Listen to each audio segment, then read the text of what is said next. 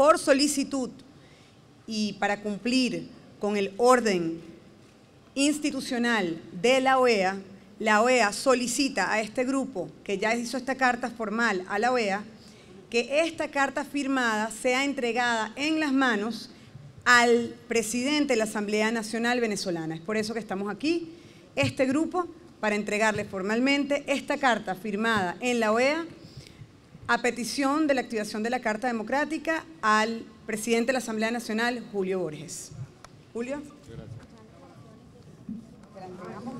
Nicolás Maduro está fuera de la Constitución. Nicolás Maduro está fuera de la democracia. Y esa es una razón muy clara por la cual en Venezuela todos los mecanismos, entre ellos la Carta Interamericana Democrática, se justifica plenamente para ser aplicada en nuestro país. 117 presos políticos, muchos de ellos en graves condiciones de salud, muchos de ellos con orden de excarcelación y no los liberan, muchos de ellos conocidos a nivel internacional como hombres, como inocentes. Es hora de que liberen a todos los presos políticos.